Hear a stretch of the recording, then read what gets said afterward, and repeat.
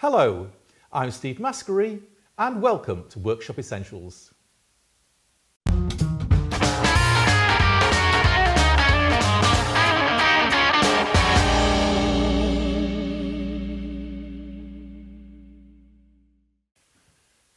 A year or two back, I developed and published a design for a mitre jig for the table saw for making the sort of mitres that you get with a picture frame. And it's that that's hanging on the wall up there. And there's a YouTube video about that if you want it.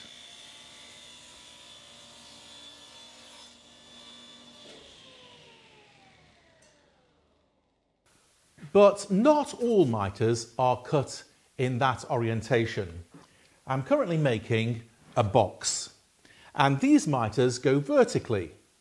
So they're not cut across 45 degrees like that, they're cut 45 degrees like that. And we need a different method of cutting them if we want to do it accurately. So I've got a jig. It's very simple, just a piece of MDF. I wish I'd made it a little bit longer, if I'm honest.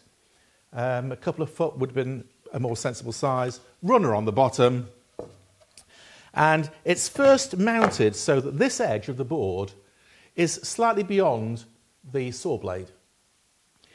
And so then I run it through the saw, and that gives me a true edge that's zero clearance to the blade, dead, dead square.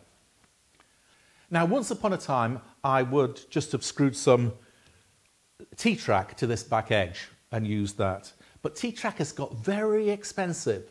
The last time I bought some, which was three or four years ago, I guess, it was $29.95 for four lengths that were four foot long.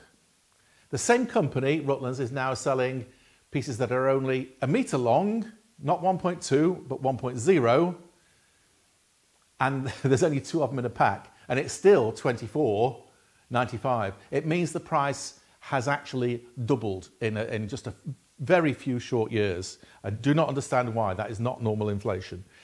And because this is a jig that I'm not going to use very often, um, I'd rather save it for something, for something better, quite frankly.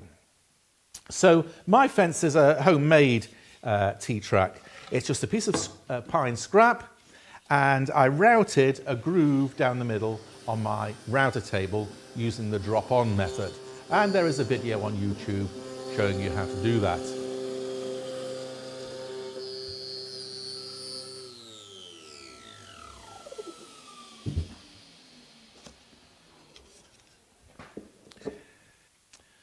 I then turned it over and routed a groove all the way along the underside so that a flange nut or a turret nut like this can slide in it.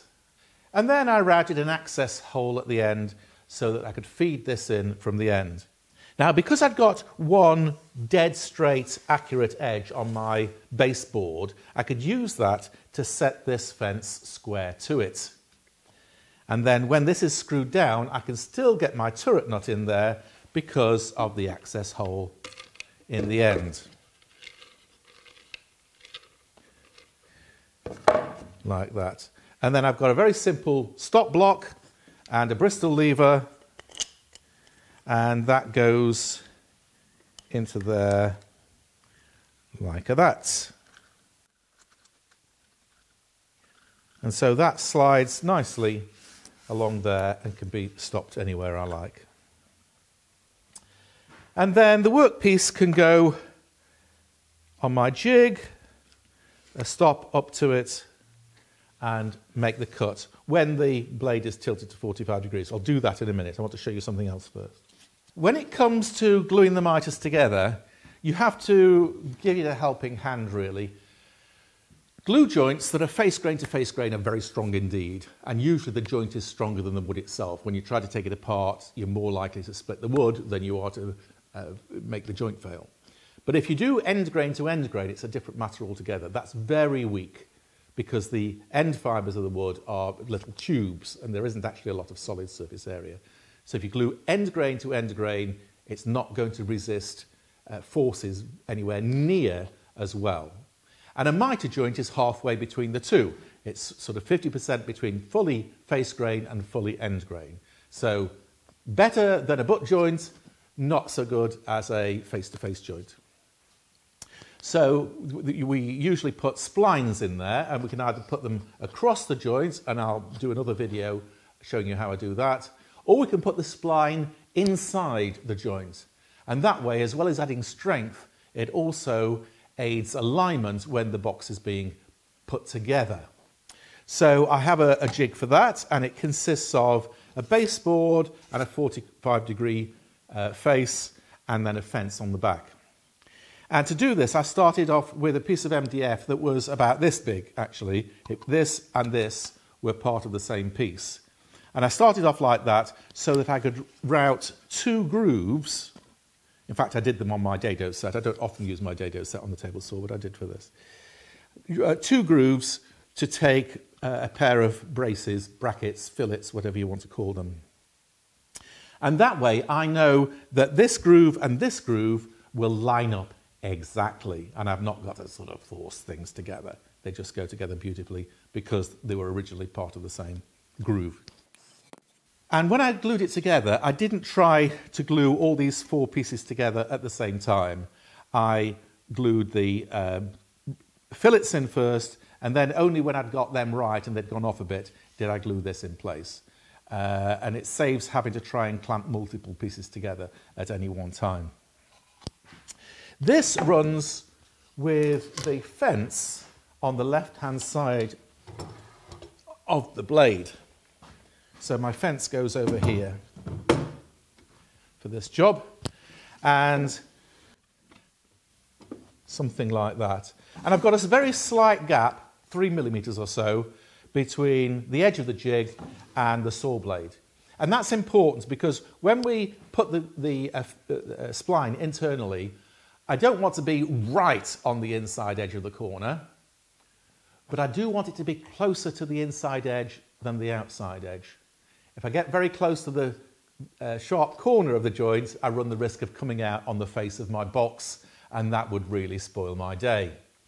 So uh, about three, three or four millimeters is ample for most kinds of boxes. And then you can work out how deep you need to go and set the blade height accordingly. And so if I've got a workpiece, this is just a, a box that I had a little accident with, uh, that would go in there like that.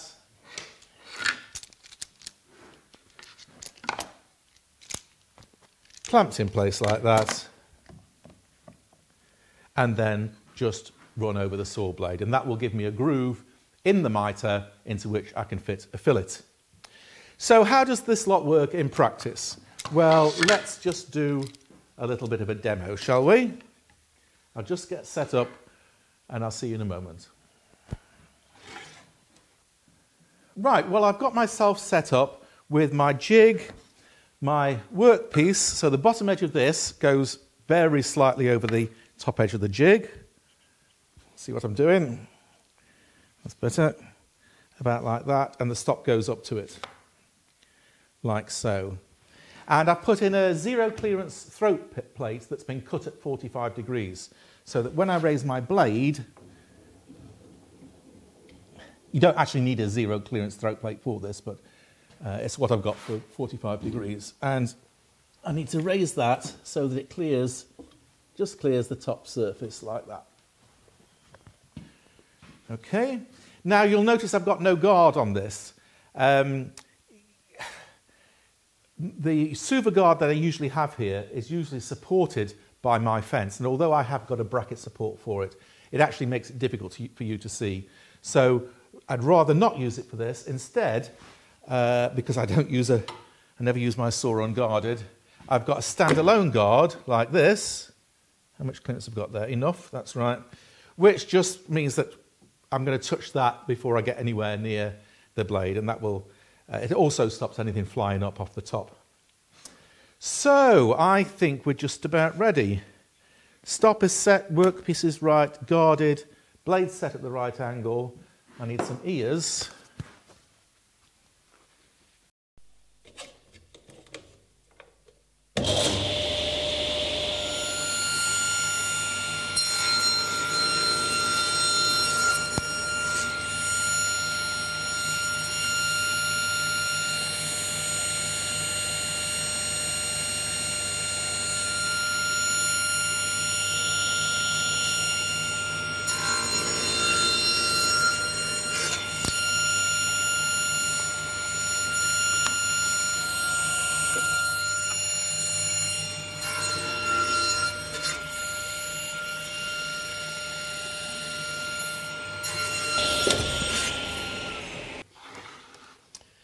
Now, I don't know if you noticed, but when I turned my workpiece down, around, I didn't just push it up against the stop like that. I pushed it up against the stop like that and lowered it into place. And that's because if I pushed it in like that, there's a very small chance that the very end will go underneath my block, and I don't want that. I want it to go up to the block, I don't want it to creep underneath it. So those are my two long sides sorted. So all we do for the short sides, of course, is reset the stop.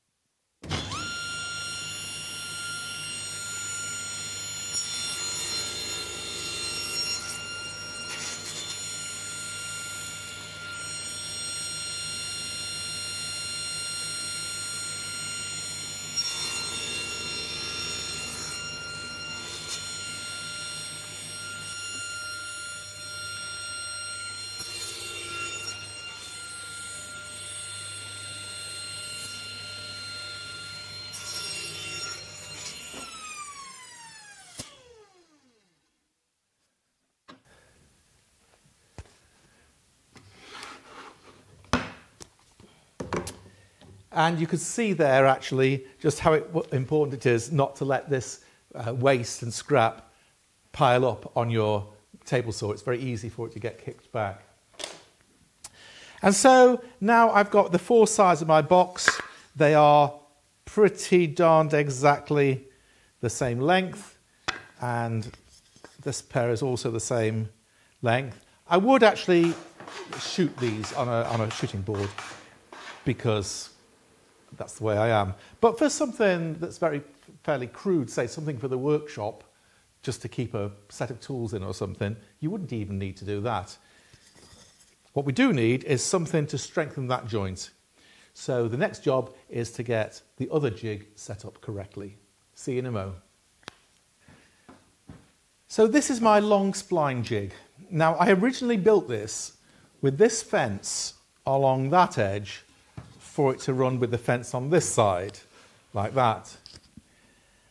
and I have no idea why I did that. I have no idea why I designed it to run left handed.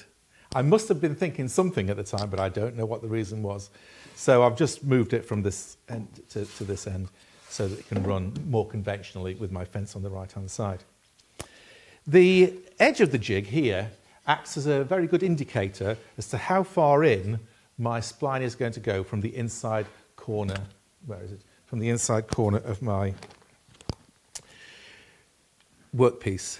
I don't want to get it too close to this edge because then I won't be able to go very deep before I come out on the far side, and that will really spoil my day. But on the other hand, I don't want to get it so close to the inside that I run the risk of spoiling that internal corner.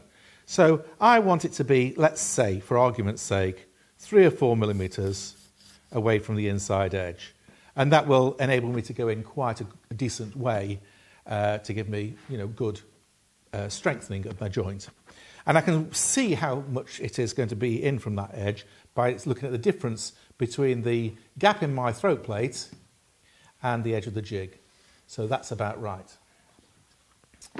So I've set the height to about 10 millimeters. It doesn't matter so long as they're all the same.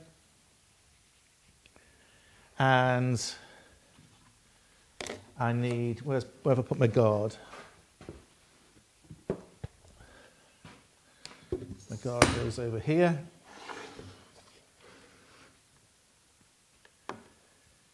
Now, one of the nice things about this jig, one of the nice things about this jig is that the workpieces register themselves automatically because they simply go down as far as the table and then they're in the right place.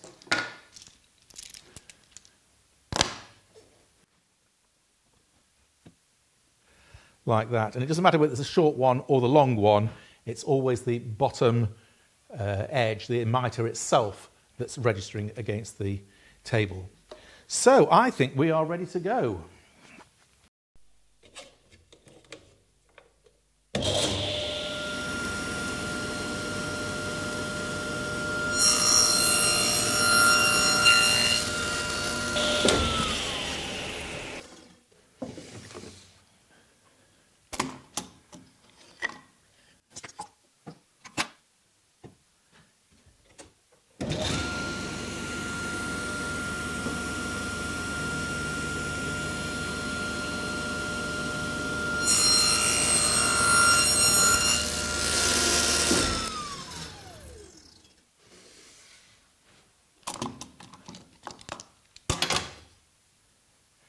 And there I've got two very nice grooves for my spline. And I've just got to do that on all the other pieces. When you've cut your spline material, and I will show you how to do that in the next video, you can, if you want, just put it into the slot like that. But it's not the best way of doing it because the grain is running this way and it's easy for that to snap and then your joint will come apart. And the whole point is to add strength to the joint. So it's a much better idea to cut this into short pieces and install them crossways like that. And then you've got the length of the spline going across the joint, and it's a much stronger way of doing it.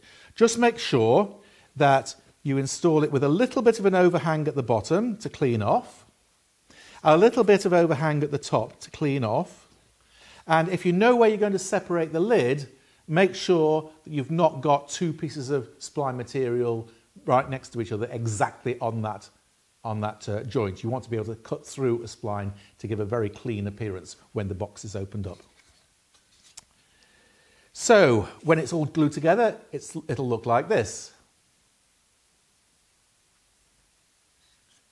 Now my friend Bob has suggested that it might be better to have the mitre cutting jig on the left hand side of the saw blade rather than the right hand side. And you know what? I think he might be right. So I've moved the runner from over here to over here, being careful to keep it square to this fence, and then run it through the blade. So I've now got a zero clearance edge on this side of the jig rather than that side. I can think of three advantages. The first is, do you remember me saying I had to put that up against the stop and then drop it down so that it didn't accidentally get caught underneath the stop? Well, if you do it this way up, that doesn't become a problem because you're putting the edge up against the block. And provide the block is higher than the thickness of my workpiece, it will always be pushing against something that's firm. So that's one advantage.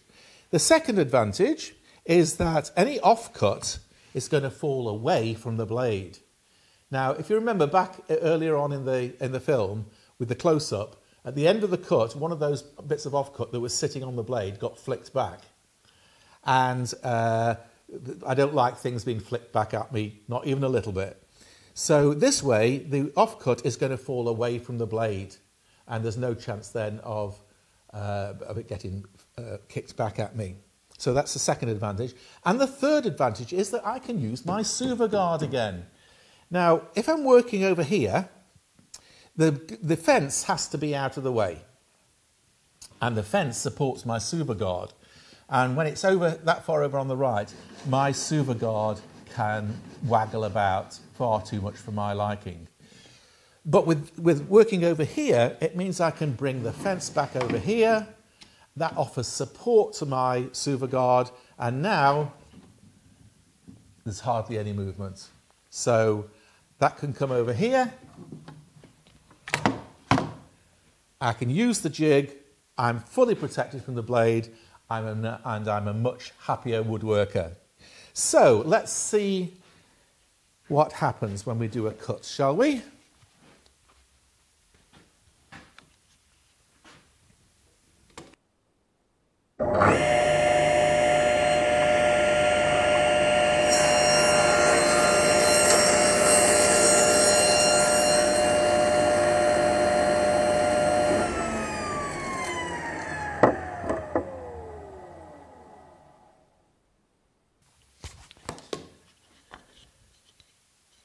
Look at that. Clean as a whistle. I thought there might be the risk of breakout on the inside, but in fact, that is perfectly clean. That's great. Very happy with that. And um, of course, even better guarding than with the magnetic one. And the waste has fallen away from the blade. There is no chance of that blade making contact with this and throwing it back at me. So I think that's a, what they call a win-win-win situation. Thank you very much indeed, Bob.